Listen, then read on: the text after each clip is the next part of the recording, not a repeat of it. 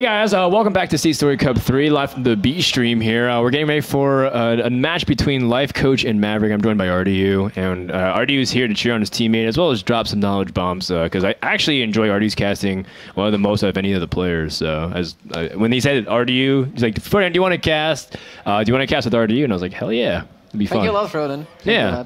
I think people don't. I think people might, you know, be of course caught up in the fact that you know, RDU, you're a very opinionated player. You like to say what things that you think are right and wrong. But I personally think it's very enjoyable to listen.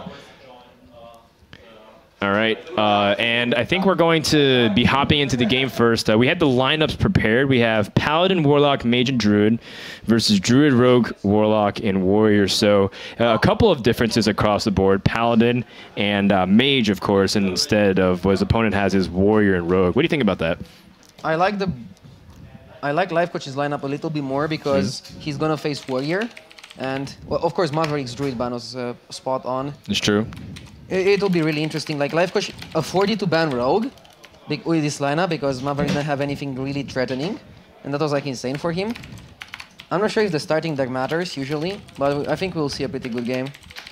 Absolutely, I think so too. I'm just trying to promote it. You know, one thing I love about being the B stream is so much. It's like even more chill than the mainstream because the mainstream you still have to do the promotions and push everything. And I really like enjoying doing this commentary because it's also duo instead of trio, so a good mixture of stuff. Uh, what do you think is like the good way to actually start off uh, the match here in terms of the classes?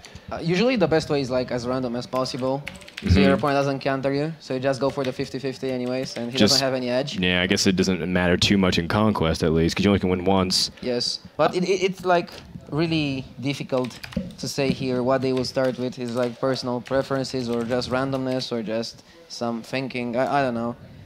Like I, I like the bans. The bans part, of course, requires a lot of skill and mm -hmm. knowledge about the game. And I'm really eager to see the games. I want to see how Warrior does. I know Warrior is more popular in France than it is in the rest of the Europe. Like personally, I don't like Warrior that much. Why is that? Why, why don't you like Warrior that much? Because I thought people would usually like to build it specifically. Because like like if Warrior has a bad matchup, you can sort of just let it go, couldn't you? Uh, I'm gonna spectate. You have to hop on a Mavericks POV. You got to add him, bro. All right, already a little bit behind, but it's okay. Frodan's here to save the day. Mage versus Warrior is what we're going to start off on here. And it looks like it's Mech Mage, a deck that Life Coach has uh, enjoyed a lot. Oh, okay, so I'm not used to spectating the games myself, so immediately I clicked on the Antonidas the mulligan away. Because this hand otherwise looks uh, pretty decent, I think. This hand is like what you want to see as a Mech mm -hmm. Mage. Of course, if the Warrior has the Fiery War Axe, it's not that good. Yeah, you know, because you can shut down the Mech Warper. Um, but overall, if he doesn't have the Fiery War Axe, I think like the win percentage of Mech Mage like skyrockets against Warrior, right? Because it's still problematic to deal with all the threats. Uh, you only can usually remove one at a time unless you go for a brawl. Yeah. Maverick has to add us if we want to spectate his hand. Yeah, otherwise it's just a Life Coach session, a ladder session, like we watch his streams. It's also it's we are not biased if we cast only one person because because we only can yeah, focus on his plays. Yeah, we only see one hand, and if we see one hand, we'll know if he does the best play or the worst play. No worries, man. It's okay. Yeah. I, I, I guess you saw the the feedback threads for Firebat the other day. You don't want that to be pinned on you, huh? All right, so uh, the warrior. There's no chance like so nobody's really bringing anything other than the control warrior, right? We haven't seen mid-range warriors really pop up with the frothing berserkers and the bomb lobbers. Uh, and of course, we haven't seen people really experiment yet with the grim patron. Yeah, we don't we don't have the added though. Oh, you can. I can. Oh, you're right. I can I can spectate both. Here we go. Oh. Upside downsies. Oh, Execute. Oh man, that is an ugly hand now if life coach thinks about it in depth, he should go for like playing the curve, one one and then two and then three. It's like super insane, but he doesn't right. want to risk it. All right. For two extra damage, you give him the chance of going for a Klotas monster, which puts you at uh, a bad spot. So I think this is the best play, mathematically. Like. Yeah, fair enough. Now he can still play the clock right now. He doesn't lose anything. Yeah, I guess it does allow the the armor smith though to pick it up. But I guess that's, is that really your main concern? He's already proven he doesn't have fiery war axe. Yeah, it, don't really care if uh, he picks it up. I think. Like you can just trade a mech warper afterwards, and if you trade a mech warper, you deny him the armor smith. If you give him two armor for an armor smith, which Sure. is not that great, but you have a good follow up. The two four fours, and then if somehow the mechs die, you can still play the spider tank. In this matchup, you have to need to be super aggressive, but armor smith and acolyte of pain are the cards you have to kill in this hmm to not put yourself in a really bad spot. It's tough then. You really don't want to give an easy trade, but I assume that the spare part also even might be more useful than the Clockwork Gnome itself. Imagine he still had the Antonidas, that would be awesome. It would be considering he has so many spare parts coming in. Cruel Taskmaster is exactly what you were talking about, and that is a that is a big pickup, Is it? Isn't it? Because now he can clear the Mech Warper and uh, still actually have enough mana to Shield Slam, or I guess he can just clear the Mech Warper, which is the big threat. You don't want him to drop like Piloted Shredder on turn three. I guess he still can because he has a coin. He could have uh, killed it anyways with a shield slam if he really wants. He attacks into the clockwork gnome and then armor stop and shield Ah, okay, that. that's fair. Be Uh, more mana I'm not sure if he's like the best play. It probably is because you deny him the tinker, the potential Tinkertown technician. It's really hard to say. Also, it contests um, another minion on the board because it becomes a 3 3. Yeah. Or I guess 3 1. So you're going to force him to Clockwork Gnome trade in. And uh, and you still have Execute, so the, putting the Cruel Taskmaster is also 2 damage body, so even if he picks up an easy trade, you still have an opportunity to gain something on the board and play Acolyte. Yeah, you're right. Oh, he wants to shield slam the other one, but this permits uh, Life Coach to just go for the Tinkertown technician. Yeah, it's not bad, although it still allows him to pick up Tinkertown value. Like, if Maverick would have traded in a different way and leave the Cogmaster alive, Life couldn't get the Tinkertown Technician value. I- I'm not sure if Tinkertown Technician matters that much, because he still had the Spider Tank or potential coin into 4 drop, so... I, I like the way Maverick played. He's not wrong. It's something differently. Yeah, but on the oth- other end too, is there any spare parts that you're really worried about early on? I guess not too much. If you have execute, you can scale into everything pretty well. I think Four four body's intimidating though. you should be afraid of the switch if you play Belcher, because Ah, it dies right. so easily to a free damage card. But in the late game, freezing is the best, obviously, or stealth if you have Antonidas. Antonidas is the king in this matchup. I think that w- with Life Coach Sensory, uh, I think he could have also kept Antonidas with what with that curve. Right, I, I might, I, Fair I would seriously consider keeping the Antonidas. Because you need that extra damage against classic warrior, right? Oh yeah, you need fireballs to win to win a game. Like Mm. ah, good old life coach. I haven't casted him. Uh, well, I did cast him actually yesterday. But before that, I haven't cast him in months. And of course, uh, this is pretty much patent at this point. Taking care of that armor smith, high priority. Really crosses his fingers for no death spite. He had the option to go for the cloak field, but I think it's better to save that for now. of course, of course. Right. That combo with the Antonidas is insane. Plus, you might be able to use it with like Loatheb or some uh, if you're trying to push for lethal.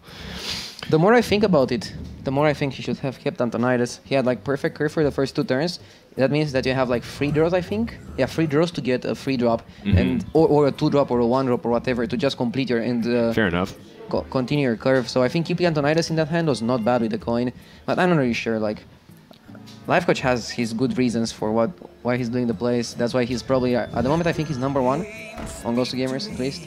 Yeah, I think StrifeCro got the throne after a couple of uh, missteps in tournaments, especially considering that StrifeCro also got fourth place in his group here at SeatStory. So, I think that after I beat StrifeCro in the last tournament, he dropped uh, under Life Coach. I mean, we can we can check between games as well. Yeah, yeah. Let's do that. Uh, Frostbolt number two. That's not not the most. Uh, appealing card. Yeah. He wants Spider Tank here. If he plays Spider Tank and Maverick has a bad draw, he might not have a turn 5 play, which is like super awful as a warrior player. You always want to have a turn 5 play. It's like super insane. You just want to play ev anything possible on every turn. Missing the first few turns isn't nearly as punishing though as this mid-game stage because then they build up the board again. wow. That is something to play. How do you play it?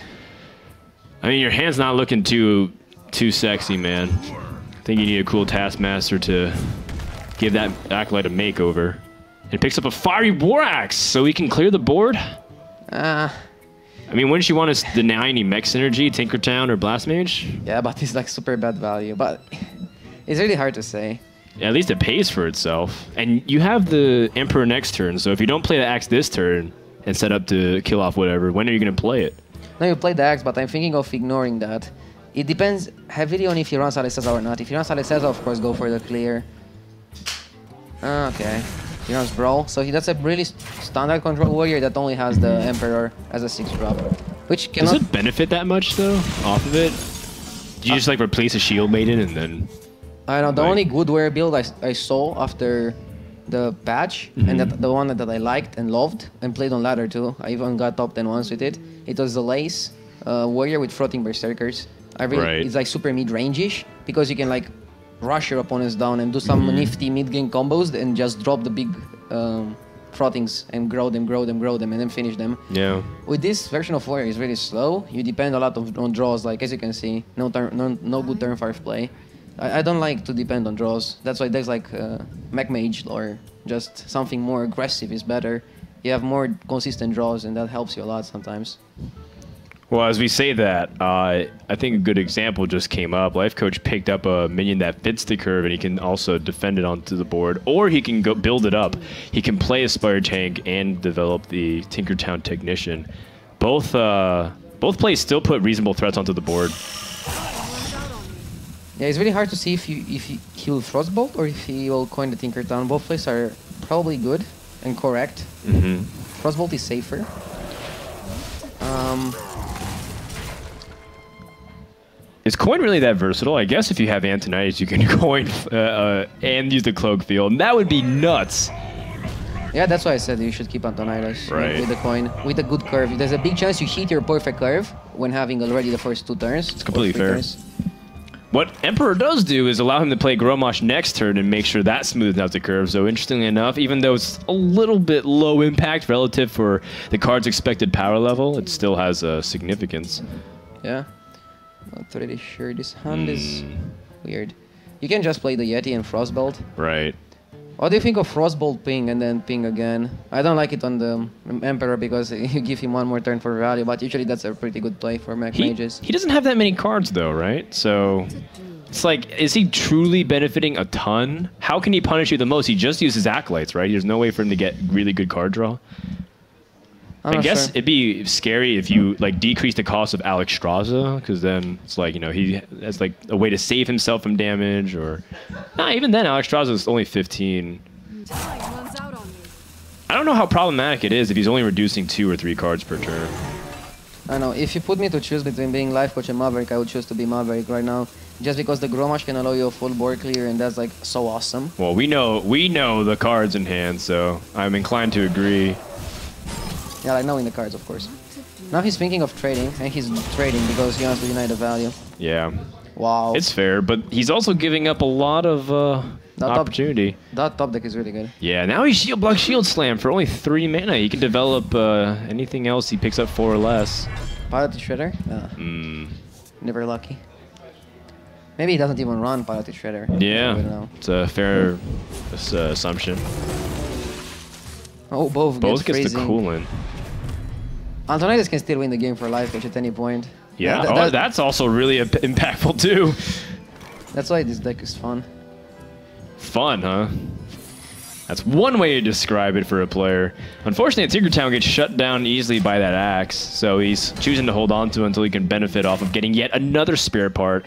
And that is an excellent draw for Maverick 2 to activate the mirror entity. Yep.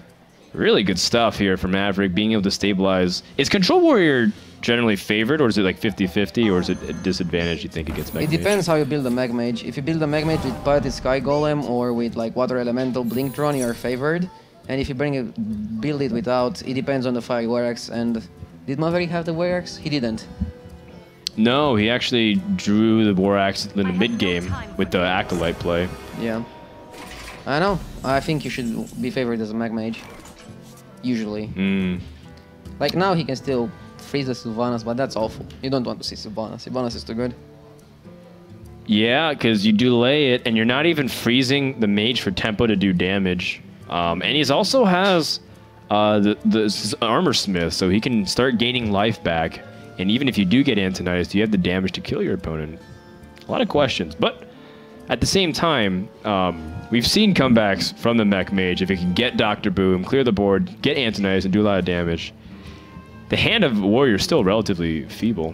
Yeah. Anything can happen. That's why Mech Mage is good. I still don't think he's the best because people expect it. Like on ladder, I think Mech Shaman is way better. Yeah, uh, uh, revealing some trade secrets. People don't know, but RDU is actually ranked number one in Europe at the moment on ladder. And Frodan is number 15 on the I'm, number, I'm ranked number 15, but there's only like 100 legends, so it's not that it's not terribly impressive. Yeah, still. No shame. no shame for ladder points. Ladder matters in the last days of the season, so I don't bother that much about it. Right. It's still cool. It's still cool because you get to feel like, ah, yeah, I'm ranked number one at the moment. Get to make the post. Uh, Rusty Horn again, not that impactful unless uh, he can buy time. Like he can say this Armorsmith wouldn't die immediately, then he could use it to taunt up and push more damage. But that Sylvanas in a turn will definitely continue to wreck. Not to mention that he can brawl and make sure that he wins the brawl because Sylvanas is on the board. What do you think of top decking Antonidas and getting four fireballs?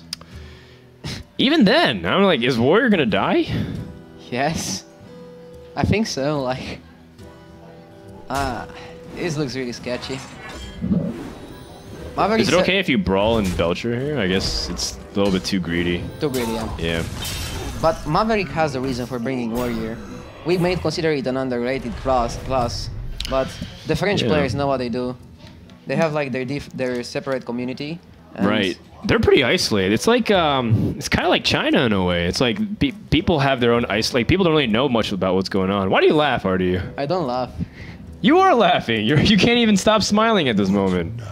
No, but You're a terrible actor. how can you compare France with China? Like China is like way bigger in like. Well, I'm players. saying in the there's the community, like in Oh. the sense that. But is they're- China isolated from the rest of Asia?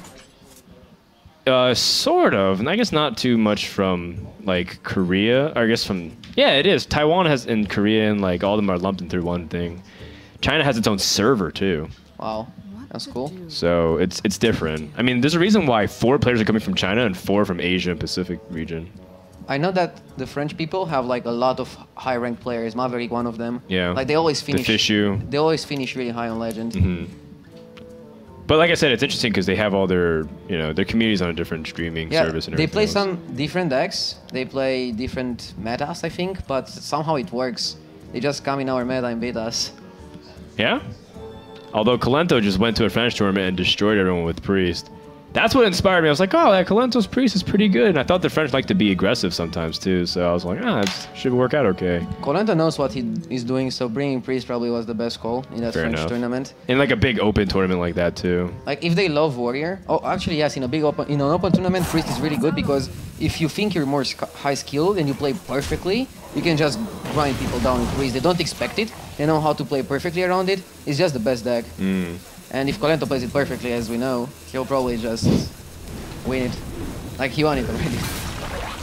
It's true. Now, even if you play perfectly in this scenario, really tough decisions from Life Coach. Oh. Ysera comes into the hand, and that can just straight up card advantage, uh, or sorry, bring back the card advantage into Maverick's favor. Because before he was just struggling to make sure to draw everything on time, but now it seems like he's gotten big minion after big minion here. Yeah, I saw his, I saw his Ysera last time in Sjow's deck. I think Sjow got number one Europe some time ago. I dethroned him today. Uh huh. And then I think he played the game and lost it because he was like 11. But Ysera is definitely not bad.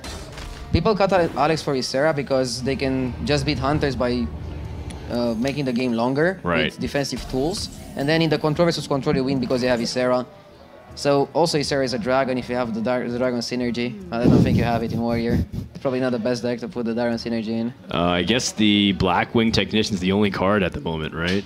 The Yeah. three five, that, or it becomes a three five rather. Cat Acolyte of Pain. Who needs that? Kappa. Yeah, draw is overrated, anyways, man. Just you, would you rather draw a card or have the card that does damage? Have the card that does damage. Go for the zoo place. That's how you win tournaments.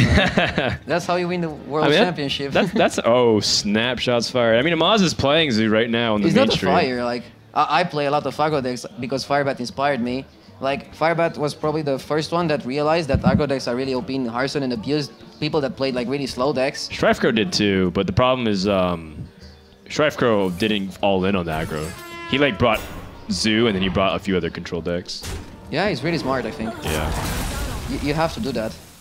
It's fair. I'm I'm also trying to see if I can learn aggro. It's it's definitely misunderstood. Sometimes aggro can. You know, actually, I think one of my favorite me- um, matchups in the current metagame is Mech Mage versus Mech Mage. So I think it's actually really interesting with the way spare parts interact and a lot of small things, decisions, snowball the board.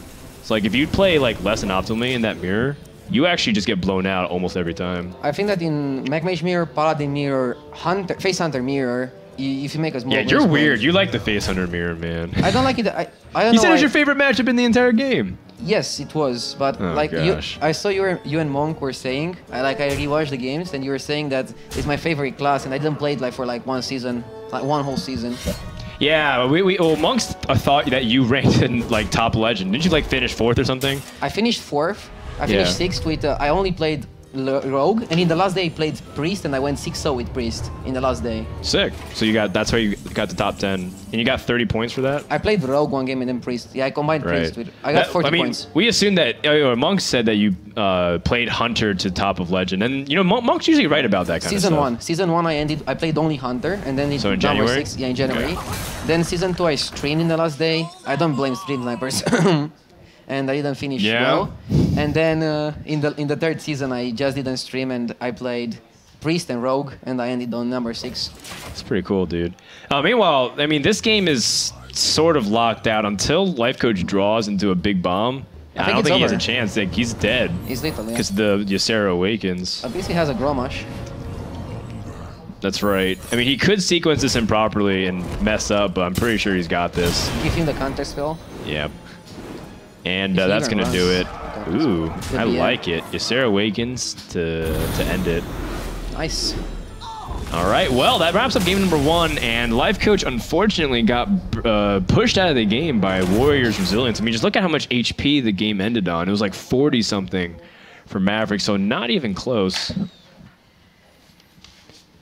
All right, so uh, that means Mavericks Warriors out. Sorry about the monitor repositioning. We didn't want to cover RDU's beautiful face, but it happened to because RDU forgot to add the players.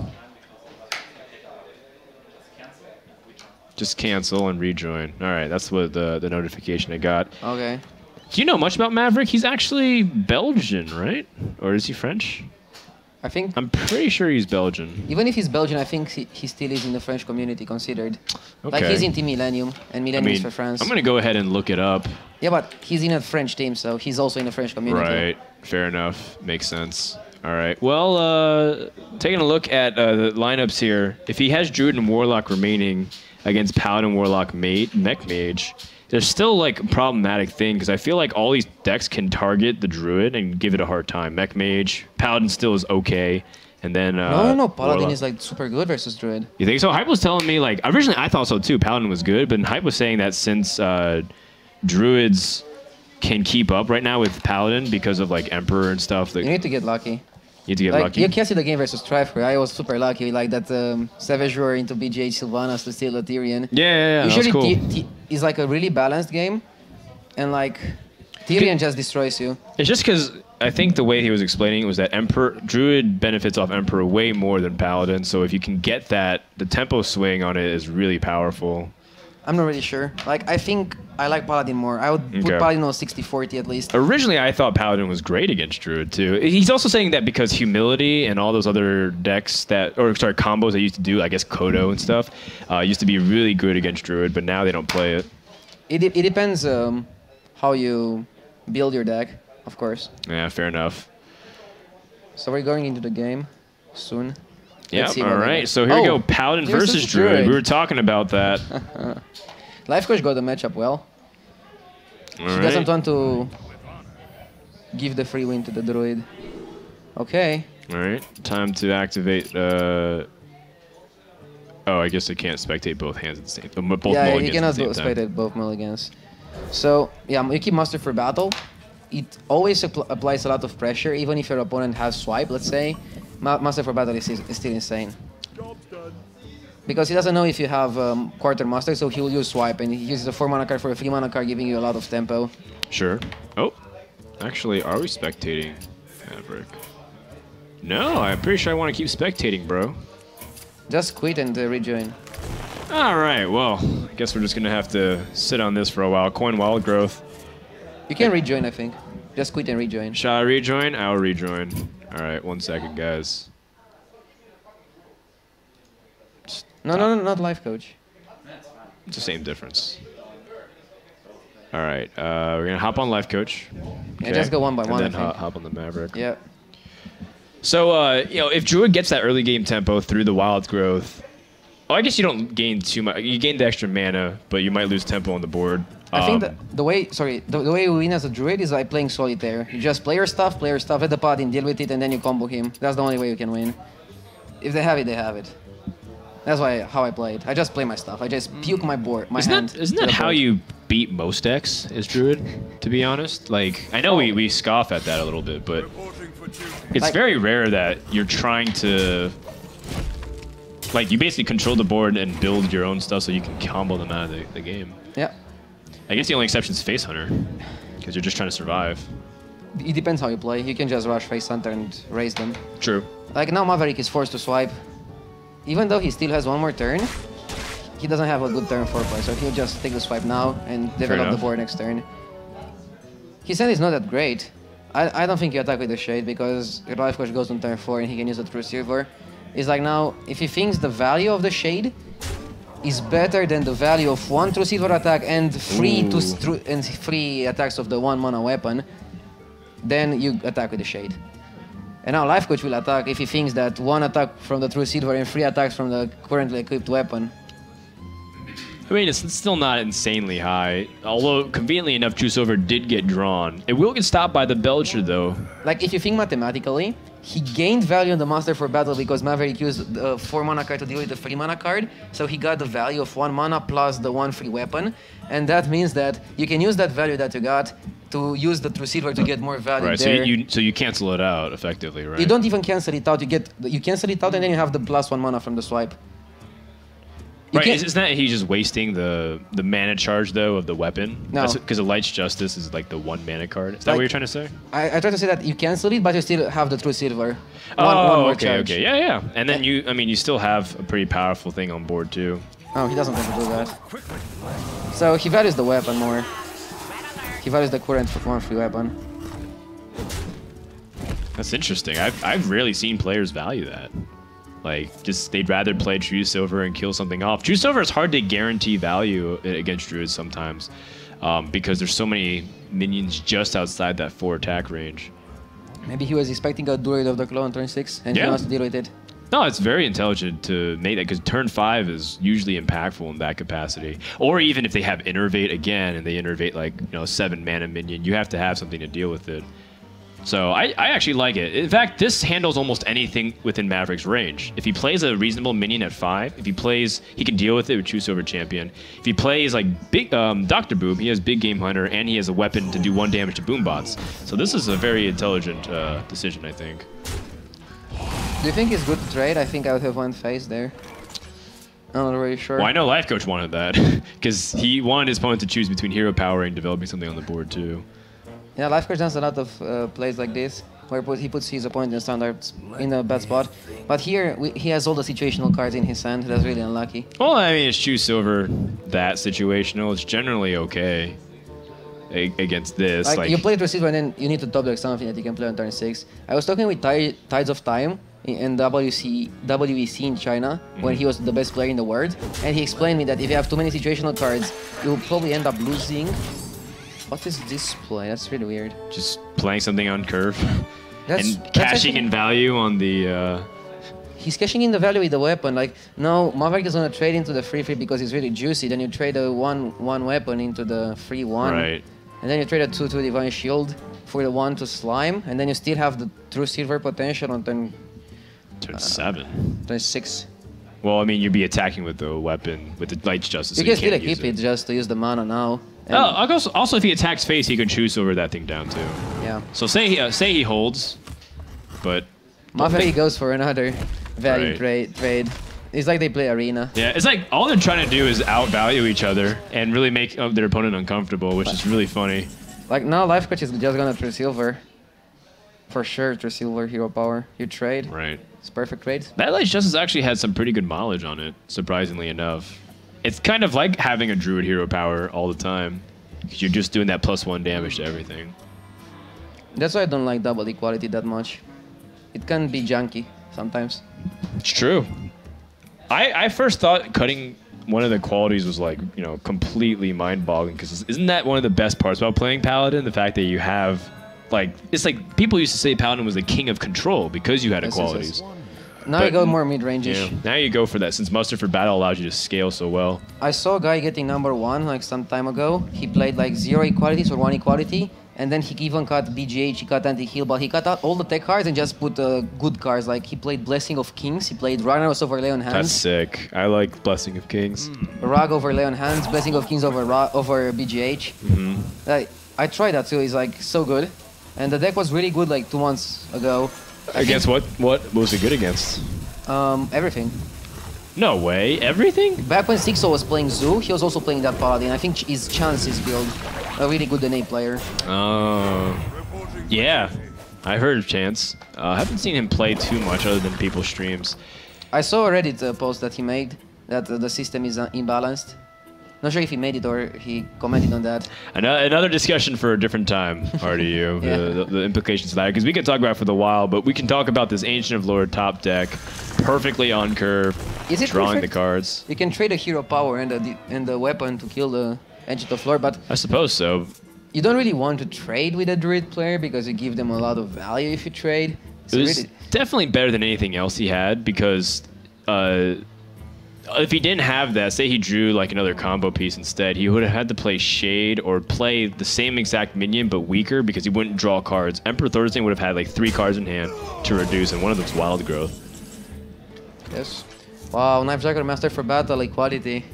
Oh baby. Yikes! And he's not even losing too much on board. He has two equalities too. That's one of the b- ways you can capitalize on it. What do you think of being greedy and holding this for one more turn? Holding the oh the combo, Yeah, and then what would you do instead? just hero power. Just Be hero a, power be a good and, and Actually, you can BGH to bait him to play Ragnaros.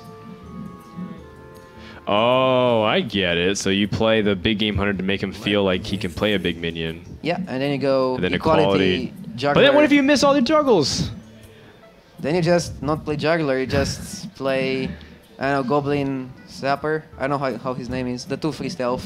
Oh, Giblin Stalker. You can play the raptor if you don't feel lucky with juggler. good value. well, uh, let's see. That would be. I mean, it's so perfect because it's seven mana now too. You'd be doing it on curve. All right, so he doesn't use equality. He's gonna go for maximum jugglage.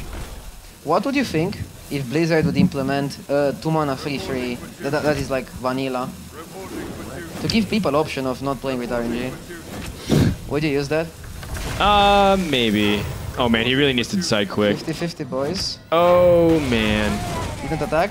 Oh, he did attack. Wow, squeeze it in. I mean, we're talking to the master of the rope here. He's tamed it. I think it was better to attack the minion, but the animation was too late. Right. No, it definitely was to protect the knife juggler. Yeah, that was the good play. I think Lifecoach would, would have done it, but hero. But I'm still impressed he got that attack, and it was really tight. Also, probably because he didn't have enough time to click on it, the animation for the death. That's why you should consider your play faster. I usually try to play really fast. Like if they would make a fast tournament of Hearthstone, like 10 seconds per turn, I think I would do pretty good in there. Meet Tides of Time. Oh yeah, the blitz, the blitz, blitz mode that everyone suggests.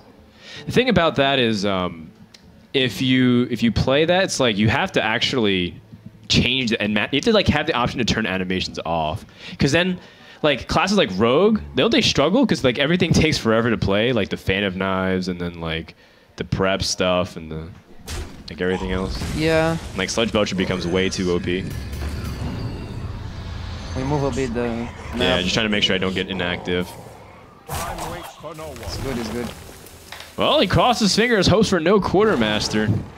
Quartermaster is impervious to the spell immunity or the uh, spell blocking of Loatheb. This is really interesting.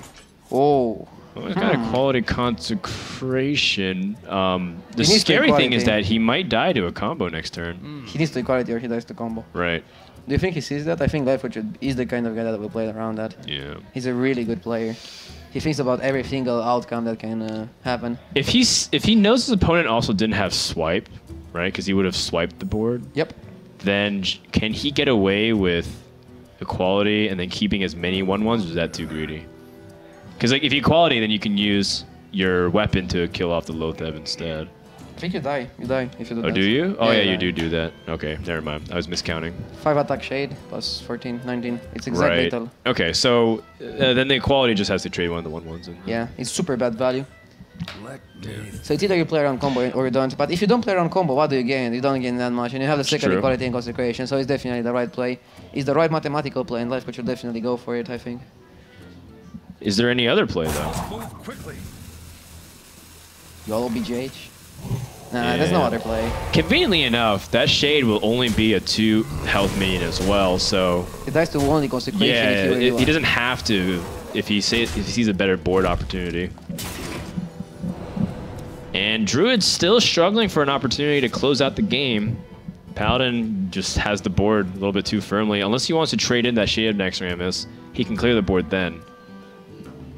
Druid's hand is not that appealing. Like life can still win with a Tirion top deck. Yeah, and I mean everything is a little bit uncomfortable. The fact that Wild Growth is on nine mana at the moment, can't cycle it. I Yeah. guess you could just play the Emperor and just cheapen everything. Not to mention you might be able to draw another Saboteur and have 22 damage combo. Being life coach, you just top deck Batman and you win.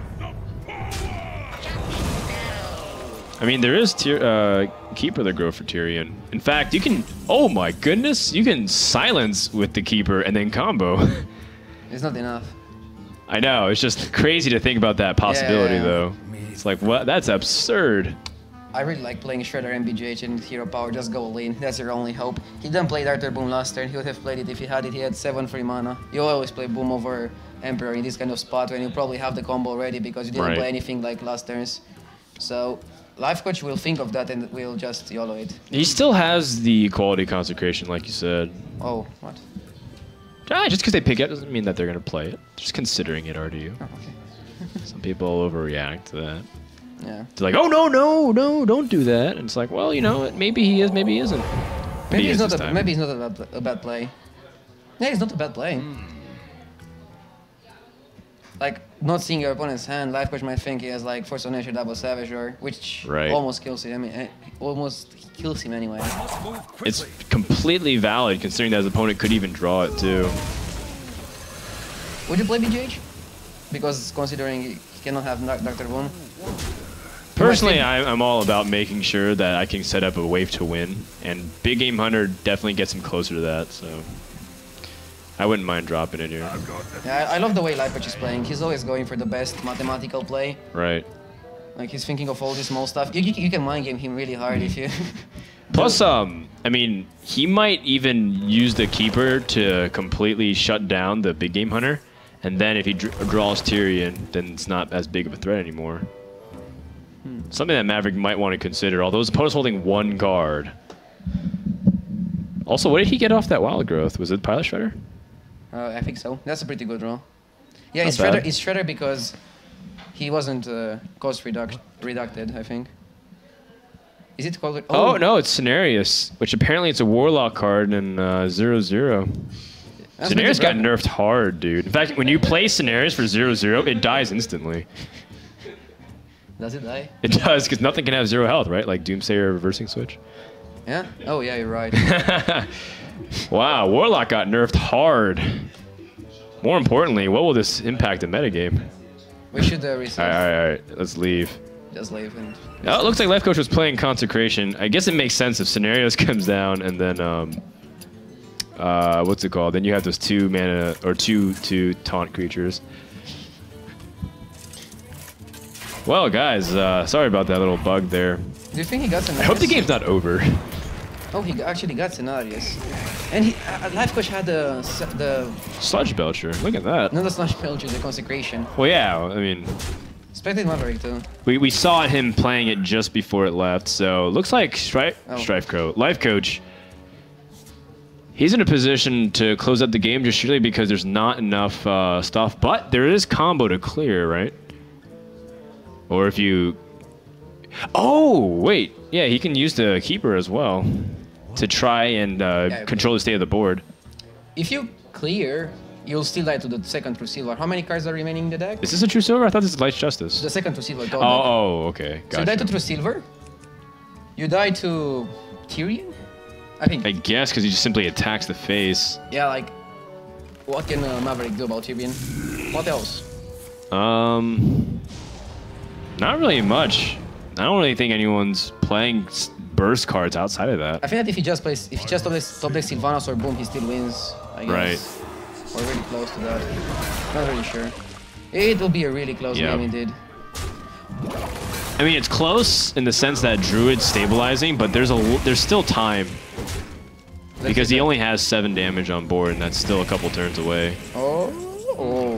that's probably like the worst. Draw. Yeah, Actually, it's not the worst because now you attack face for one, guess you draw and you draw two, two, two cards from the next turn. yeah. I also gained you a lot of life because he has to use the Cenarius attack into it. He can't use anything else. Oh yeah, you're right. Can he survive three turns this way? Let's calculate it. So he can take, he takes nothing the next turn, and then he will take. Oh. Oh man, Doctor Boom, high impact card. Okay, let's see a bit. Hmm. So if he has Doctor Boom and Cenarius stays on board, that is upwards to 15 damage that he can do. The thing is that if you play Dr. Boom and you don't top deck anything next turn, like no damage, he needs to go full face with both and attack hero power to the one, one, one, and ignore the acolyte. Life coach will still get uh, one draw from the acolyte because he will get only one trade out. Ah, you're right. Should he? Uh, he also should probably hero power down the one one to prevent Quartermaster from being lethal, right? Uh, yeah, of course. Okay. So You just boom hero power, the one one, Yeah. and you just go for face because if you trade in the acolyte, it's not efficient. And actually, if you hero power the one one, you die to the second consecration. oh, you're right. But There's so many. No, no. Actually, If you're on lethal next turn, you have to do that, I think. Unless you want to. oh yeah. I guess the Boss boom bots couldn't do enough damage. I was calculating if he hit next turn. So I was like, if say the same exact scenario happens, consecration still wouldn't even be lethal because he might actually just die from the boom bots. You might have enough if you trade with Keeper and you go hero power face. All right. That's a really good compromise then. Yeah. Good play on both ends. He still dies to True Silver. And Life Coach has two draws to get True Silver. Maybe Uh, maybe even- maybe- three maybe with the boom three. bots. Whoa! Tirion is a pretty big draw here. You definitely trade Acolyte first. Right. And just mash Tirion in. You want to take out the boombot. You wanna know what's funny? If hmm. Life Coach plays Tirion and Maverick doesn't have a way to deal with Tirion, he just dies because if he kills Tirion and doesn't kill Life and, and doesn't kill Life Coach, Life Coach will just weapon up the Ma- Maverick's face. But he can kill him if he. Let's see if the boombots. Oh wait wait wait wait wait wait wait. I'm trying to think about the boom bot RNG because if it hits Tirion for significant and he can and he only has to use keeper, would he be able to kill him? Best is 4, and then he has like 12, so that's not enough. He needs top deck If swipe. if this Boombot hits like the face for four, and then the Boombot hits Tirion for four, then he can kill him next turn. I think that if the or Boombot three hits, I think that if the Boombot hits Acolyte now, is is game over unless Maverick top decks Savage Roar. or Taunt. And if he top decks Taunt, Life Coach can still top deck the weapon. Oh, Kezan Mystic. Kizan. Oh, three, three is possible, man. He just has to hit Tirion, and Tirion, the Boombot has to hit Tirion for four. Yeah, it, it's really easy. It's like Yeah, just do that. it's 25% and 25% again, right? Yes, Right? yes, you're right. No, yeah, yeah. Yeah, yeah, yeah, yeah, yeah, yeah. Because he can't use his hero power at all to take down the shield to make it better too. He can if he wants. If he like. Honorable Subaru. Seppuku. Sudoku. Subaru? The Twitch chat jokes are. Oh man, he misses. And uh, unfortunately, he has nothing else he can do to try to increase his chances of survival. What an insanely close game. Yeah, there's nothing. Like he could have drawn Harrison a taunt, some damage, any sort of damage. Right. But Life Coach could have, also drawn something for some. Sure. Other than the Kezan Mystic. he goes for the honorable. I like it. Die with glory. And that means 2 1 for Life Coach? No, no, he's tied 1 1. 1-1. It's Man. A really good series. Life Coach. I hope I don't Your miss my series game. ages me. It would be funny if I miss my game. Oh, no, no. Don't you play on this stream as well? No, I play on the mainstream, I think. Oh, do you? Who do you play first? Um, Toide. Oh, t- uh, is he on a team anymore? I think he's teamless. Oh, gotcha. I gotta cancel this as well.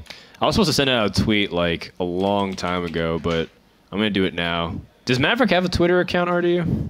I think yeah, I think so. All right. Uh, I can't find it, so I'm just gonna say. Uh, one. Uh, God, how do you do German keyboards? Here, here we go. Currently one one. All right, so uh, it's tied one one. We have Warlock Mage versus Warlock Druid. Now, I'm curious to see if anybody has really brought like um, a, a really good Warlock deck that involves Bane of Doom, because I know a few people were experimenting with it. Do you, has anyone brought it so far? I don't think. Oh, I think yes. Uh, I know number guy was uh, Oh, but he's out of the was tournament. he was really salty because his opponent, I think Alesh, got uh, Malganis from Bane of Doom. Oh, and he No, no. pounded the desk, right? Either Malganis or Sixo. Sixo. Uh, Was uh, it sure. Sixo? Because I remember someone here. No, we were, Sixo got it. Sixo got it. we were in another room, and then we heard someone just like yell, "Are you kidding me?" And they like pounded the desk. It was oh twice Doomsayer out of the Piloted Shredder. That's I- I apparently think what Sixo, happened. got, Sixo was, ta- was saying us that he got Malganis, but then his opponent had BGH. So it was That's his hilarious. worst one. Ah, that's funny. He said he would have preferred the that's the only demon that can get. Oh, I No, guess Anim. Wait, Illidan. uh, huh? Illidan is worse. Illidan. That's right. That's and what he it's said called. that he had an imp on the board, so because he got that plus two plus two for one turn, it's better than Illidan. But it was the second worst one. That's funny. All right. Oops. Sorry. Uh, looks like we're gonna go into game number three, and it looks like to be Mage versus Warlock. Yeah. Here we go. This is gonna be interesting. It, we, we first need to see what what type of mage of warlock, sorry, Maverick is playing, and afterwards we can see how's it going. All right. Well, life coach seemed to have mulliganed uh, for pretty much a faceted curve. All right. And uh, looks like we have a pretty basic handlock setup so far. I Mm-hmm. mean, there could be demons in this deck as well, but generally speaking, um, I? I- I think StrifeCro's version is the best for this. He got number one in A a couple of days ago, and he's mixing the handlock with the demons, and that's really cool. yeah. Uh, he's been doing that for a couple weeks actually. I was watching his stream and he said that he doesn't know which build is probably the best at the moment after the Right. patch, but he'll test out and find it. What I really like about StrifeCro was the fact that he thought he could take out Mountain Giants to play uh, other cards, and then even specifically take out Doomguard to put in Dread Infernal. That was really cool. Um, not sure if he's feeling that now, considering that a lot of things has changed. Plus, Demon Demons got a little bit better with Imp Gang Boss, because I think that card's really nuts. Yep, it's a really cool card. It's crazy. Like you always think, you always kind of underestimate it. It's like, yeah, you know, uh, Imp Gang Boss two four. It's like an Imp Master, but no, that card's so hard to deal with. How does it affect uh, with swipe? Do you get? Oh, that's a good after? question. Because does it spawn after the swipe or before? I guess. I guess maybe because it. I think swipe. spawn, I guess, I guess swipe does kill it. Four. Well, wouldn't the natural logical progression? Because Hearthstone's always about things being played first. So if like Deathrattle played first, it triggers first. So maybe if Imp Gang Boss was played first, since it's because it's played first and you swipe after it, it should activate before the swipe fully does it.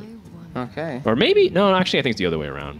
Probably because um, it's really interesting. I think. Yeah. Hmm. It'll be interesting until we see it once and everyone's like, oh, of course, it's common sense. Stupid caster. The chat said it spawns after. okay. We believe the chat. We believe you guys.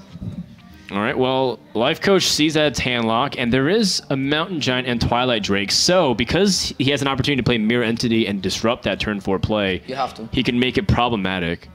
Again, like what you go for the mathematic. Oh, what? Hmm. I think Mirror Entity is better versus um, Warlocks. They can really punish you. Like the, if you play Entity on turn three, you lose all your free Oh my. free turn, and then they can play Ancient Watcher and deny you the value. But they also Right. deny themselves the best powerful turn. Right, and it gives you more time to build. Although, technically, it's scary because uh, the Shadow Flame possibilities with uh, Ancient Watcher thereafter is really high. Twilight Drake comes down as uh, a huge Injured Blade Master equivalent. But uh, this gives an opportunity uh, as uh, the Pilot Shredder can also come down here. I don't think you're too occupied with having to deal with the Drake, right? Yeah, Especially I- if you have Antonidas, you want to be able to try to stack damage, Yeah. maybe going for the burn kill. Well, going for Shredder is probably not the best play because then he can just turn into your Shredder and Shadow Flame, and you should expect that. Fair enough. But then what's the alternative? Mirror Entity? I don't know. Frostbolt for tempo? It's really weird and hard to play in these kind of situations. Dang. Wow, RDU dropping the real insight, saying Mech Mage is hard to play. No, But- it's actually completely true. This one's tough. It could go either way. With Dr. Boom and Antonidas and coin, on the on the first hand you get a huge value if you coin out the Dr. Boom, but you want the coin for Antonidas. Right.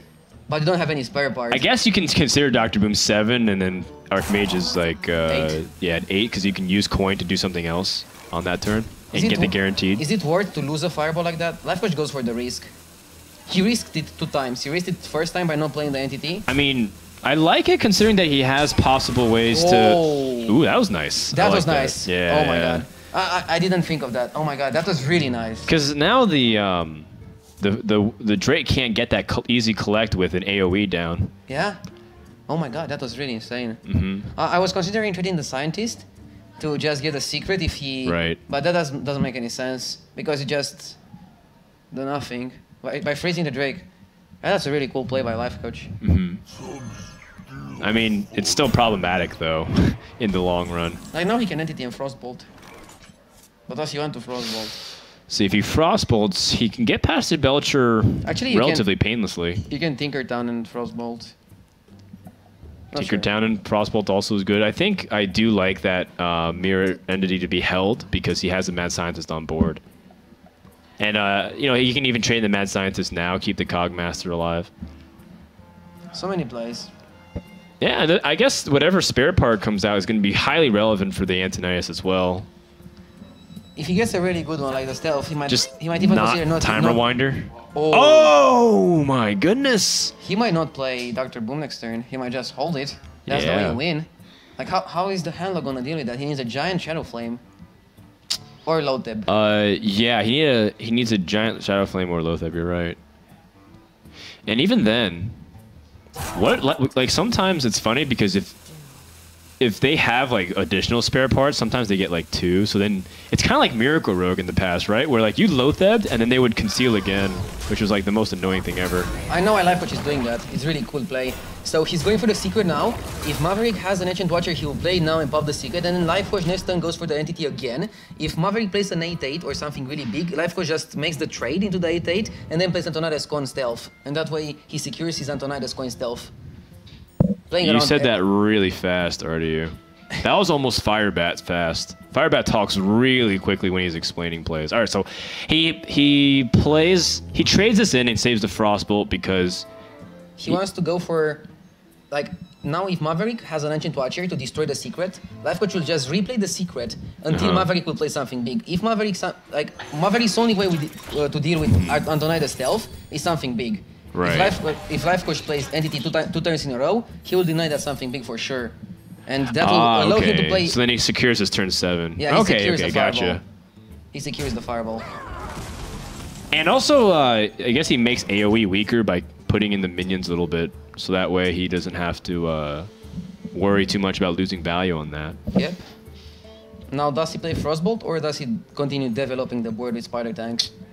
Well, you know, the spider tank is resilient against the hellfire, especially considering that he can kill off the whole board, so that he forces his opponent to have that ancient watch or shadow flame, and then, like you said, secure turn seven because it's not playing the big minion. Plus, he uses shadow flame already, right? You want him to use the AOE, but like shadow flame I don't think he to used it shut it already. down. No, it's like you want to force him to use Yeah, it earlier. You want to force him to use it. But if you want to force him to use it, you might just ignore the board and just go for face. True that. But as I said, he plays by playing entity twice in a row. He denies the eight mana cards, the eight Right. attack cards, and that's the only way he can deal with Antonidas stealth. So he, he's really valuing the Antonidas stealth. So that's how one spare part can make you play totally different. If without that, I think he would still have the scientist alive or something like that. And you know the mountain giant's going to cost a little bit too much too. If it was three, then it could be shadow flame regardless. But now it costs only four, and there's not enough mana for Maverick. So it's still another awkward spot that uh, Life Coach is putting the handlock player because of this mirror entity. And then Maverick, in the same time, like now he has to worry about this uh, this mirror entity again. How does he deal with it? He doesn't have anything small. He has only some fury, I think. Yeah, Sunfury Protector up here seems to be his only course of action. Um, I guess he has Healbot number two. By number two. You give max to the Mech Mage. I mean, he already has two mechs anyways. I'm just saying. I guess there's also this off chance it could be counterspell too, because some people very rarely run it. I saw Lothar lo- running it, and that's all. Yeah, so you know, I was saying it's seldom ran. People don't run it often. I, I think, think- I also saw um, StrifeCro run counterspell one time. Life coach likes consistency. Doomsday. Doomsday is not even bad. Secures the empty Secures board. the Antonidas. You get an answer. Wait, wait. Are you sure that the Antonidas is safe though? I guess you're saying that. Um, Actually, he's not safe. If if he Right, doesn't play anything. yeah, the Mountain Giant can be cheap enough to Shadow Flame if he only plays one card here. Oh yeah. Hmm. Maybe he expected Maverick to play more. Actually, if Maverick doesn't play anything, I think you just Doctor Boom. Yeah. I think just Doctor Boom now. Not really sure if Antonidas is the best play. I like Doctor Fair Boom enough. more. Doctor Boom to bait the removal. Yeah. Plus, it gives you extra mana to use the Antonidas as well. Yeah, he should play around the Mountain Shadow Flame. Like just playing Doctor Boom is perfectly fine. Mm-hmm. He can just play Antonidas Frostbolt next turn and gain the value. Yeah. Or just straight up Antonidas, Cloakfield, and you know, it gives him more options next turn. Yeah. The alternative is, uh, I mean, the alternative is to play the Antonidas now if he can calculate the damage necessary. Because next turn, if he collects two for fireballs, he can have 12. And right now, he can put his opponent down to 22. And that's, that's still really far away. So I guess Dr. Boom is your best bet. Plus, Boombots, man. Boombots can, can do some pretty funky things. Doctor Boom from Life Coach, really well played. What to do? I mean, I, I feel like Maverick's also making sure to take, like, being able to squeeze in some life taps and make sure to uh, have as big his hand as possible while still being reasonably okay on board is really nice. Both mirror Neuters have been used, so now he's free to, to do whatever he wants in terms of playing a minion. Yep. Uh, that was Loatheb drawn. This game can still go either way, I think. I, I did I didn't like that much trading with the free four spider tank. You put him in Mortal Coil range and you put him you put all your board in Hellfire range. But I don't think it matters because life coach things like this, like if, he wants to use removal on his on on his board, he can just replay the board and he'll be in the same spot he was again. Right. I don't think he cares. Yeah, like, now I mean, he'll he just can take his time. I, I still don't think you plant Onidas. You don't you think he doesn't play Antonidas? No, you just develop the board again. Sure. So then play the Pilot Shredder and the Spider Tank. Yeah. It's still reasonable uh, pressure on board. Right now you have six, and you're about to almost double that. A little bit more, actually. Antonidas is insane next turn. Three fireballs. Guaranteed. You might even pick up something else. Yep. So, pretty Three nice. guaranteed fireballs. That's cool. It's like That is enough. cool. Af- And- after two anti-kill bots, that's a lot. That's what you need. And the Siphon Soul. True. Does not Maverick have any heal? He might have one more for Seer, I think. And the low of course. I guess if you count Jirax's heal, Oh, he just goes for it. He can go for double fireball. I, I don't see why you wouldn't. He just used Siphon as well. I guess I would like to see the stealth though. I, I mean, and also Maverick is playing around the possibility of stealth too. He's been doing a really good job making sure not to overcommit. Like it's so easy to want to clear a board like this, right? So you can feel safe. Wait a second. Does Life Coach have lethal if he goes for... Oh, never mind. If he could go for like Coin Frostbolt and attack the hold the board and then have double Fireball in his hand and Maverick Yeah. would like go Giant Shadow Flame and the bots would hit for like... Um, Wow. Something. I think seven or eight. Maybe, but I think Maverick has played this perfectly in terms of like being able to pace himself. This Mountain Giant effectively just taking out one of the biggest threats, and now Doctor Boom, Wow. six damage boom bots, slightly above average. Slightly, yeah. Now Doctor Boom and Ensigners have been used, so it's basically down to the top decks, but there's still a lot of damage. That's a really huge Yeah, draw. Piloted Sky Golem is nasty. Why would why didn't he coin out the shredder? I would have liked to see that. Actually, if you coin out the shredder, you probably don't play the free forever again. But don't you want to close the game next turn? Uh, yeah, I guess so. You put out also more sticky minion too for him to deal with. Maverick needs to town the Sylvanas if he wants to survive. Lifefish can still top deck one of the two fireballs remaining in the deck. hmm He still has both, right? So many. Yeah, it has both. possibilities. Like, this one is from Uh Antonidas. oh, I think our client's a little bit bugged. I think this the Sylvanas did go down, so we're gonna leave real quick Yeah. and rejoin as fast as possible because this game can be concluded soon, guys. Apologies. But uh, I think you're absolutely right. The Sylvanas could have high impact, and if it steals a really valuable minion, all of a sudden that burst is gone. What can Life Coach get from the 6-4 to make the game more interesting? Uh, to make the game more interesting, Yeah. oh man, I gotta admit I haven't played much with Pilot Sky Golem. I've ignored that card so much. Um, Pit Lord? Pit Lord, we saw that earlier on the mainstream. Yeah, that's why I say. It's like one of the best stats you can get. Is it? Five six for four mana. It's pretty good. I mean, you can get pretty much anything else like the Yetis. I mean, you can you see the four drops right here too. You can get the Pilot Shredder and the Blast Mage. What?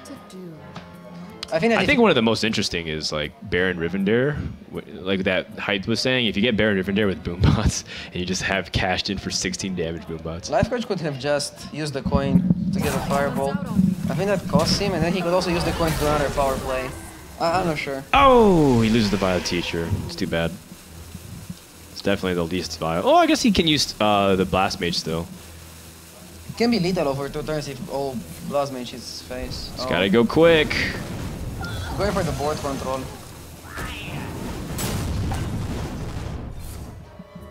And looks like he pings the The right one. Sunfury Protector. Still, again, a little bit clo- too close for comfort here.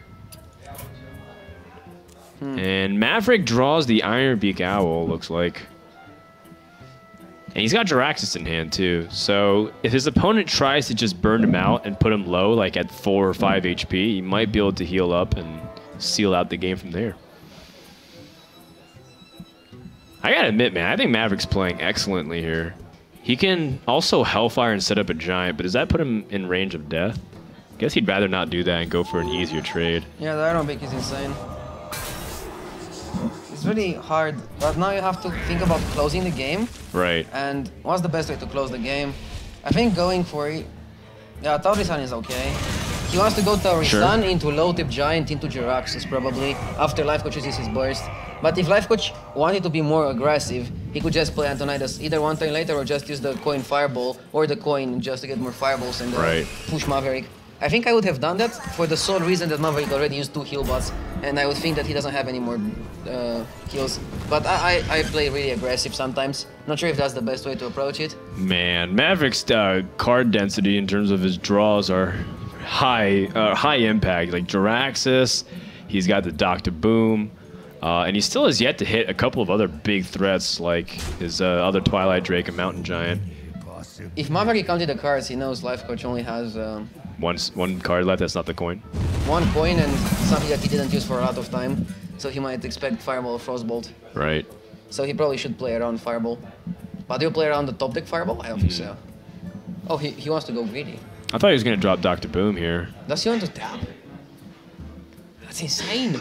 Tap would be really risky for the sole reason of uh, being able to fro- fireball Frostbolt and win the game.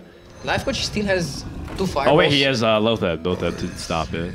So yeah, he can get away with it this turn. So he's gonna Jaraxxus next turn then, right? Oh, he can get away. Can he? Yeah. I don't think uh, I don't think Life Coach can win this turn Oh, yeah. because of the Loatheb. Yeah, it's insane. It's one damage off. No, it's two damage of lethal. Because the Fireball will cost nine, so you couldn't use the coin either. That's a really smart. Again, Maverick's getting away with a lot. I really like his, Maverick his is handlock really play. Good. Yeah. Excellent play from the Belgian. Maverick is showing some really high skill. And now he's gonna heal up to 15 with Jaraxxus Yeah, I and put out way- two eight. Actually, he's gonna put out an insane amount of minions. And he's squeezing the Life Tap. The power of Emperor Thaurissan. Jeez, life coach. He's sitting back in his chair, looking a little defeated here. Yeah. It's still 2-1. The series can go in both sides. Life was Uh, still not able to get the win with the Mech Mage. I know the Mech Mage here's been scrubbing it up. Honestly, I thought the Mech Mage was gonna be able to do a lot more, but Maverick still has to win with Druid after this game, and Life still has his own handlock as well. So, by all means, the series is far from over. What if Life brings Zoo? Oh gosh, What did you say if Life brought Zoo? if Life brought Zoo, I think it would take just as long as it would be of a handlock game for Shrewd. if you ask me. Shots fired. All right, so game. Uh, let's see, that's game number three, Three. in the books here, And the Warlock from Maverick is out. What a, again? That was really impressive. One of the best handlock games I've seen in a long time. I think the series is probably one of the best played all around. Yeah, Both the- players played really well. Really good skill demonstrated on both ends here. Life coach goes to take a break uh, for water. All right, so oh, start getting going to toilet break. Okay. Probably has to pass a little bit of his frustration off. So uh, that means life coach is down to uh, the mech, or sorry, Maverick's down to druid. Life coach has to win with potentially handlock or demon lock or whatever it's warlock deck uh, with mech mage as well. And I know that mech mage is really problematic, especially if you're playing secrets and the pilot sky golem. Like druid Yeah. has a hard time dealing with it. Mermaid should be like insta win versus Druid. Mm-hmm. Now, I wonder what kind of druid Maverick will bring because you say he's part of the French community, which is uh, a little bit different. Have they have they found any other forms? Because I know like druid basically has two kinds of builds now. You have one that's more around Emperor Thaurissan, drawing a lot of cards, trying to see if you can win with that, or you just play like straight up fast, fast druid. Sometimes you replace like Shredder with Violet Teacher if you're trying to be a little bit different, but other than that, it's pretty much fast druid versus uh, Thaurissan druid, I guess. I think Gaara was the only one that brought Ramp. Druid. Oh, that's true. Ramp Druid. Like hardcore Ramp Druid. He had just Ysera in his Druid. And I'm like, dude. Doomsayer. He had two Doomsayers and just Ysera and the Emperor. It was like That was absolutely nuts. That Absolutely nuts. ballsy. Yeah. Uh, unfortunately, Gaara is out, which means that the only remaining member from Tempo Storm is uh, is hyped, and this is this is the is this the second place or the f- uh, first game of the group? It's the first game of the group. Okay. Oh, th- are you in the same group as this? People? Uh, no, no, no. Oh, you're in a different group. I'm in a different group. Oh, I'm- you're playing on the mainstream soon. Yeah, my, my, group, my group is with Toyde. I hope you don't miss your match, man. Uh, it's no. starting soon. I, I heard Rain had the, had the battle with the Pinata, and they delayed with like something. Oh, oh man. Rain had battle with the Pianata and I missed it. That's something that I want to cast too. that. Was a great duel. Because I'm pretty sure, like, the Pinata would win, right? Like, couldn't. Shots fired. Reynad couldn't actually. I mean, Shots fired. I'm pretty sure, like, the, the Pinata's. Uh, I don't know. It's good that he's not watching the secondary stream, probably. That's true. He's probably out playing CSGO or, or poker. At least you're still in Twitch. That's right. I'm, I'm just trying to imagine a world where Reynad has enough strength to, to actually break open the pinata. Break up on the And even then, that pinata doesn't have enough sugar in it to balance out the salt levels of Reynad. Wow. This is a really important turn. If Maverick doesn't have the rough, Lifeco just gets, gets the game, I think. That's right. Let's go ahead and hop on uh, Maverick's POV as well. Get that. And he does have the Wrath. Really important card. Let's see. So, a reasonable turn three play. Uh, doesn't have anything on turn four, and that could be uh, really devastating considering that if Druid misses and has the hero power, that's going to be a, a lost tempo on the board, and Mech Mage can run away with it. I see this going, this game going to RNG. If Maverick doesn't have a good play now, he will just wait with the shade, and then Lifeco will play the Blast Mage. And if the Blast Mage hits the shade three out of four times, which is Oh. roughly 20 something percent if I calculated last time correctly, I don't remember. Well, the Keeper of the Grove draw was really important just to shut that possibility down. Because now he has a 2 4. Maybe the battle cry is important, maybe it isn't, but uh, the 2 4 on the board is is definitely high impact. Do you think he attacks? Uh, either way, it won't shut down our Goblin Blast Mage. I would attack into the 1-2. Attacking the 1-2 is probably the right play. Mm-hmm. Maverick does it again. I think Maverick played flawless this whole series. Yeah. Did he make any misplay? I don't think so. Life Well, he's he's not only made no misplays, but he's also made the correct reads. There's there's also playing correct and then Yeah, yeah, and then guessing yeah, incorrectly. Yeah. But he's He- also made the right reads, which is highly impressive. Let's see. Oh, oh, oh, oh! Wow. Wow! Life That's- coach strikes back with a perfect spread there. Yeah. Really good control. oh man. Of course, uh, you know we say that facetiously. Really difficult to always predict the outcome. What, what do you think about that attack? I guess he doesn't want him to play in the swipe. Yeah, I, I think it's a really good attack. Like trading as a mech mage is not that great unless you get huge value, or unless your opponent can get huge value on the next turn. Like what can Maverick do on turn five to get huge value? The best value he can he could have gotten is Savage or Hero Power, and that way you can kill both the five four and the two three. But Ah, you are that's also frozen. cool, too. You are frozen, so you cannot do Yeah, that. this is actually something that I know Super JJ. He was here yesterday and talking about with you, talking Yeah, about how he always regrets leaving the keeper rope if you're trying to be a little bit more aggressive. Yes. Because of Savage Roar plays that allows it to trade up, or, or even better, take a better trade and the hero power. So this is a good way to play around it as well. Really, really good moves. Yes, both players Uh-oh. play really good.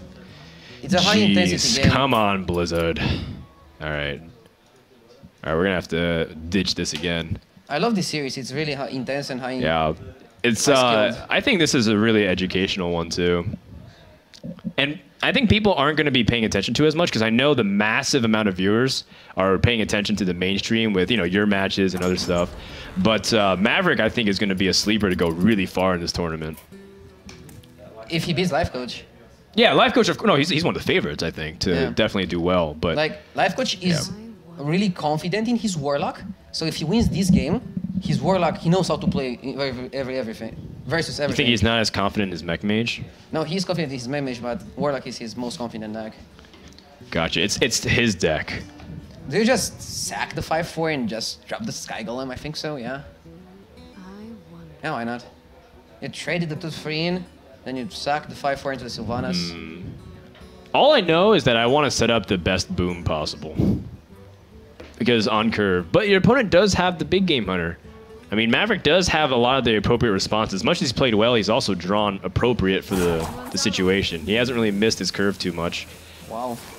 He's going for something He wants to get the damage in, huh? Actually, he's got two frost bolts, right? So maybe he can really squeeze in a push for lethal here. Wow. He's got five, uh, Ten. Oh, he has 10, more. 12 damage next turn, assuming nothing changes. 13, I think. Oh, right, the hero power. Um, the force of nature will have to be coming out here to clear the board. Fireball does it? That's right, fireball does end the game. It's exactly it though. Let's see. And if not, you can just trade into the Sylvanas and play Boom. But do you play Boom or do you play the Sky Golem? Oh, come on, it's got to be Dr. Boom. You have the direct No. damage, right? No. I mean, uh, you, you know that the opponent has the big game hunter. Come Still, on, Artie. You're, still. you're cheating. Still, This is called caster hacks. You have to play the Dr. Boom on curve. Going Next turn, you can pilot Sky Golem and Hero Power. Sky Golem is so good. I guess you could Sky Golem and Clockwork Gnome. I guess that does fill out the curve too. That's insane. Like, you s- kind of set up for lethal. Like, let's say he hero powers the Clockwork Gnome, you have exact lethal with Sky Golem Frostbolt hero power. Right. And he didn't play a taunt earlier, so he doesn't have a taunt. Ah, okay, So that's a really Going for Dr. Boom, you lose to BGH. Going for Sky Golem, what do you lose to? Swipe? He could have swiped the, the, the turn with 5 for Blast Mage if he had swipe. But you also get the boom bots. The boom bots can have such high impact too, and it, and you have the better trace. So the Pia Sky Golem is even better, right? The Pia Ga- Spy- Sky Golem might be able to have a stronger board resilience because if he plays Big Game Hunter, he has three more or five more mana to play stuff, assuming he doesn't hero power, and then that only leaves him a Druid of the Claw. I mean, this is uh, an in- insane read from Life Coach. Like, I, I'm actually super impressed, and I, and I shouldn't be at this point because I think he's been able to make good plays. But what a draw again! Swipe. But what comes out of that? Pit Lord? Pit Lord, yeah. What if it's just like a Yeti straight up?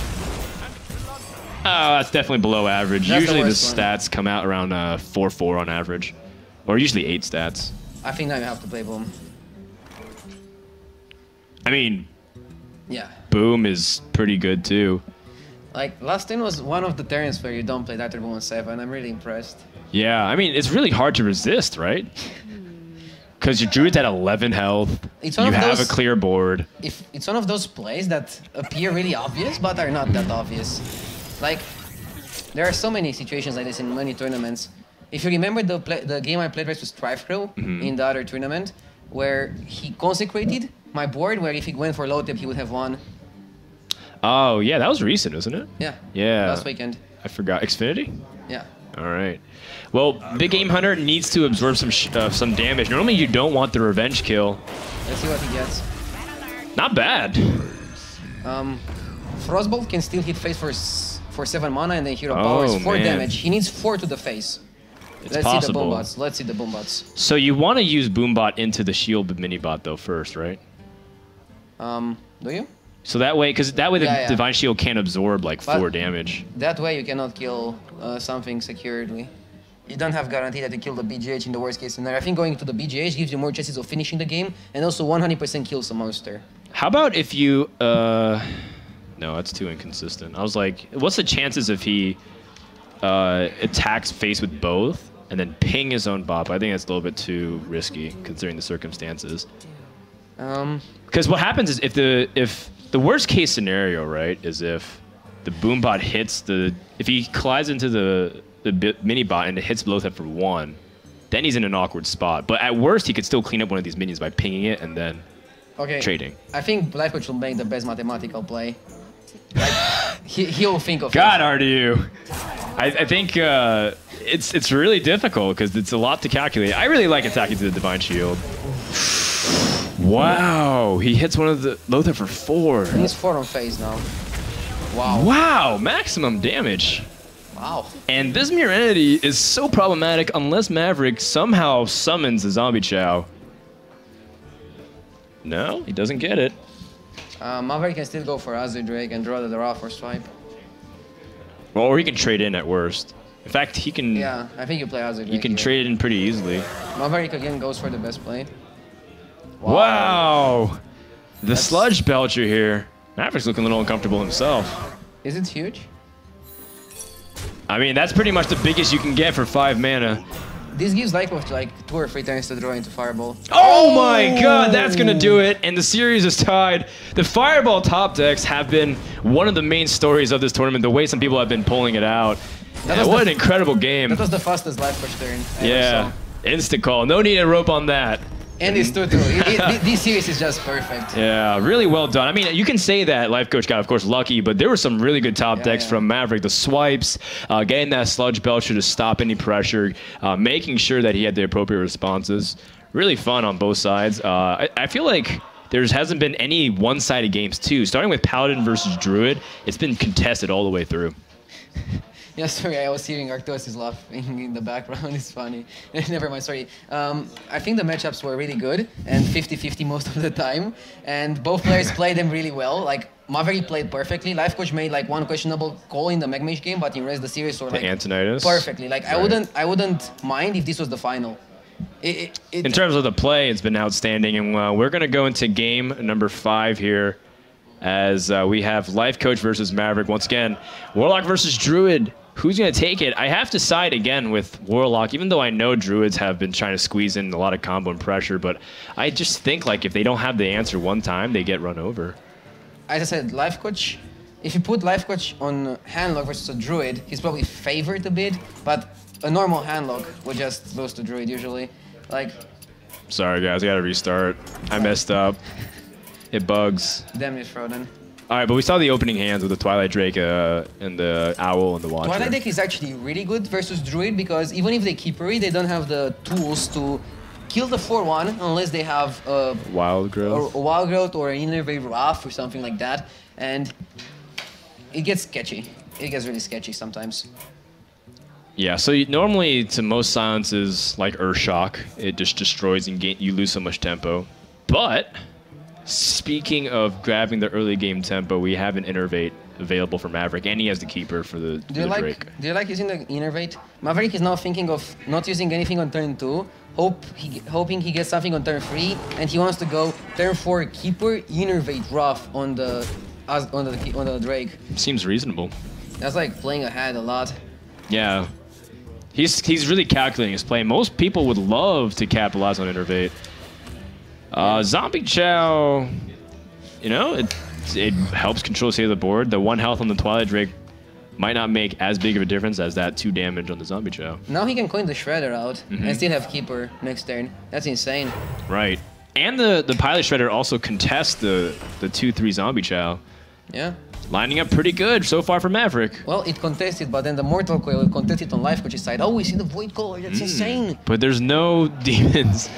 Still insane. Like Maverick is a really good player. He'll play around the demons. Oh, right. So he could bluff and then, you know, oh. Well- kind of get the silence out on the Void Caller. Life Coach played poker, so.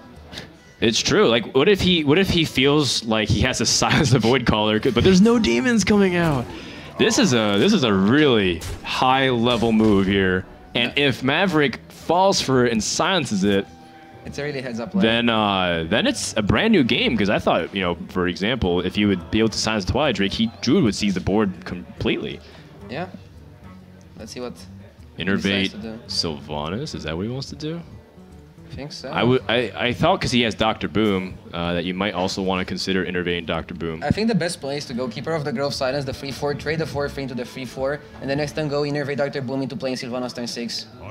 Wow, what a sick call! Life Coach nods in approval because that's exactly what he was going for. Life coach with the poker play. This was, I mean, I guys, this was the series of the tournament for me, and you know, you guys are privileged to be able to watch this on the secondary stream uh, and keep it a secret from the rest of the people. But I expect firmly a lot of congratulations to whoever wins because this is highly, Yeah. highly impressive. Now Life coach Immortal Coil and Dazzle Drake. I think Immortal Coil before because it doesn't matter. Right. Actually, Well, it might, because what if the mana worm comes out of that? Uh, oh, not the mana worm. Sorry, the mana wraith. you can kill it.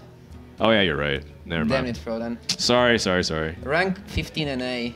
I'm right. I'm ranked 15. Let's just He- end it there. Frodan is rank 15 legend. Shh. How can you not see that, man? Sorry about that. Ah, it doesn't really change much. You That's a kill mana it. ref. Yeah, I guess that is mana wraith status. Really sick bluff from Life Coach. These bluffs only work on tournaments. Whenever I stream and I do that, they they, they, do- they just trade. And I'm like, oh my uh-huh. god. Yeah, yeah, yeah. Whenever you stream. It doesn't work Not when you play regularly. Even if, when I play regularly, they just There trade. People don't care on ladder. On tournaments, it's really it's really different. This I 100% approve of. Innervating Dr. Boom out on turn 5. That's why I thought the plan plan is from the beginning. Okay, if he's gonna go for Hellfire, what do you think of Hellfire in before to tank some boom bots with Ray so you can get? What if you lose the Drake? Actually, you don't care. You want the bombs on your face because you want the molten salt. Hellfire allows you to tap, um, or if you're taking a lot of damage, maybe just play Ancient Watcher. But Ancient Watcher actually doesn't do much. You don't have any. I guess you can silence it to have it be a 4 5, so there's that. But you don't have any taunt givers. And ideally, as handlock, you'd like to keep tapping to keep uh, improving your hand. Because you'd be using two cards this turn and not gaining any. And meanwhile, on the Druid side, there is Emperor Thaurissan and the combo, so he can play that in um, back to back. So even if uh, Warlock clears, there is that combo on turn seven because that'll be from nine to seven mana. So this is uh, an opportunity for Maverick to really go for some big pressure play.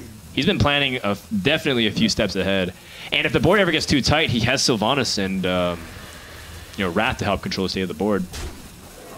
All right, how much will these boombots do? That's the big key. Life Coach runs as much as possible. Four is below average, so relatively unlucky, but I guess uh, at least it wasn't two. Now Maverick threatens lethal. Right. 21 damage. But he does have uh, heal bot. He does have uh, ways to silence. He has Doomguard as well, which also stinks. You don't really want to use that. You probably are Hmm. forced to, to Doomguard. Doomguard, Doomguard looks really bad. Does he just ignore so combo? So tough. I don't think you can ignore combo at this point. No way.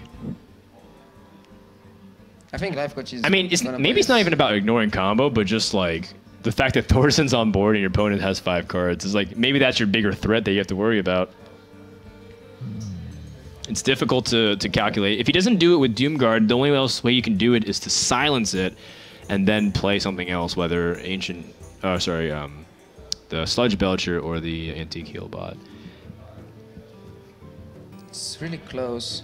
I'm not really sure. Mm, so weird and so awkward. He goes for the Doomguard. Yeah, Doomguard to try and control the Thaurissan keep it under control. He loses Healbot and Twilight Drake. Will Maverick just combo his face next turn to show that he has a Keeper of the Grove or something like that? Wow, That would be like super insane. That would be that would be like I don't have the balls to do that. Not against Molten Giants and uh, the Like- possibility, but he did just toss the Antique Healbot. Yeah. That's Like- actually a really valid. Uh, valid What else do you do? You just play Sylvanas and give it to the Doomguard? Get a Ancient Watcher. Watcher is not that good. You need Keeper for it. Right. And you already used one Keeper. He can Wrath uh, to improve his hand, or he can Wrath and play Druid of the Claw. Oh, I guess Ancient Sylvanas still is the same thing. A little bit better for the Sylvanas mana. Still threatens lethal. Yeah. Oh, the counter Sylvanas. Hmm. But the problem is that Sylvanas is a little bit too expensive. Like Coach played around combo last turn, so I think he'll play around combo this turn. That's why Thaurissan is really good and broken probably, because it's really hard to play around something that you don't know when your opponent drew that, that card. Yep. Sludge Belcher is his best bet of survival here. If he if he taps, does he die? What about silencing and Defender of Argusing? Oh, that's also a possibility too. And you can also tap.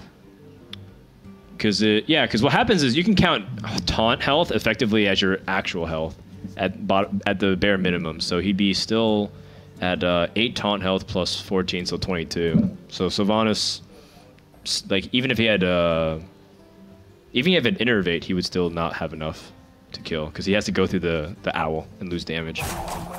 Really hard. Let's see Life I, on I the will. ropes. The thing is, if he does, he needs another taunt. Oh, he gets Sludge Belcher number two. Oh, he just plays Belcher. Alright, that's correct. Wild Growth is Dead. dead. Um, Rid of the Coin is the only player you go for combo. Again, going for combo is super risky. You saw the Right. heal bot.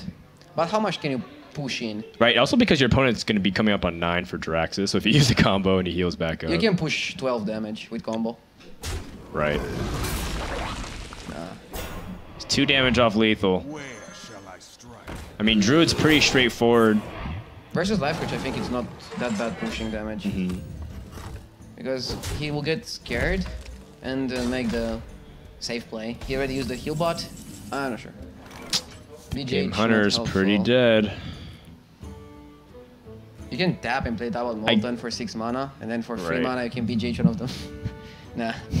I guess BGH is like in case the giant gets stolen in some capacity because he still. I guess he could silence Sylvanas here if he really don't want to do with it, but he still has to be worried about dying to uh, some combo pressure. So he has to calculate how much damage which uh, which can scale. So if everything gets off at full damage, right now it's 27.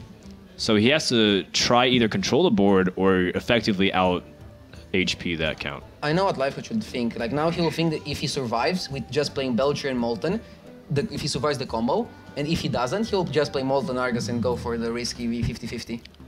It is really risky though because Sylvanas is weak. It is not that risky because you have the BGH if he steals the giant. So I think going Molten Defender is the best play. Of course, it might be better if you go for the Belcher Molten because Right. you can make him use the combo too. But, but I if think you die to that, I think he good. might die to Belcher. Does he die? Molten, Oh my god, he's tapping. Oh. He can play all. He can play all. Let's see if he has time. Oh, whoa, whoa. Oh no! Oh. Life coach ran out of time. Oh man, that does it. And the oh my blemish on his record for Oh the tournament God. series has costed him due to time constraints. Maverick will advance. Oh my God. A desperation moment here, and uh, Life Coach came up a little bit short, unfortunately. God. wow. oh What, my a- god. what an unceremonious way to end this oh, uh, otherwise fantastic series. He had the Sunfury. He could go Right. and double down Sunfury. And that would ju- just win him the game next turn. I threw, I threw some fury. Yeah, uh, he's telling Maverick right now because uh, Yeah. he realized that he had an opportunity Like, to. even if play. Life Coach would have lost that Sylvanas trade, he could still be GH next turn and still win the game. Oh my god. It was a really, really intense series. It's because it could have gone on for a long time. Oh you never know what could have been drawn from the Warlock side to really keep him alive even more. Um, if he had a Jaraxxus, or if he had like, if he forced his opponent to use combo because there's too much pressure on the board, and vice versa. Plus, yeah, like you said, he had the Sun Fury and another Defender of Argus to keep uh, the defense going up. So we'll never know. Uh, we just know right now that Maverick wins the series 3-2, but I have to give it to him. I think he played flawlessly this series. Yeah, I think Maverick played perfectly all the series. Absolutely. Really impressive stuff. Uh, I think so. This is the first match of the group, correct? So uh, he's going to advance to the winners match. Life coach will wait in the losers, unfortunately, but definitely has a chance to bounce back. That's why I love this tournament being double elimination. Both players deserve to go through. And we'll Fortunately, see. only one can at the moment. Who's the other two players waiting on the other end? We- have Ekop and Masan. and Masan waiting on the other end, so that's going to be coming up on stream. Hope you guys enjoyed that. It was really fun. I know really I definitely series, did. yeah. Absolutely. So it's time for uh, me and Ardu to eat our dinner, or Ardu to get ready for his match. I'm gonna play Toy down the mainstream soon. All right. Good luck, man. I'm prepared, I think. Hope you get uh, amped up because that series is really good stuff. Exercise the the brain. All right, we're gonna take a break, and when we come back, more SeatStory Cup action here at the TaKeTV apartment.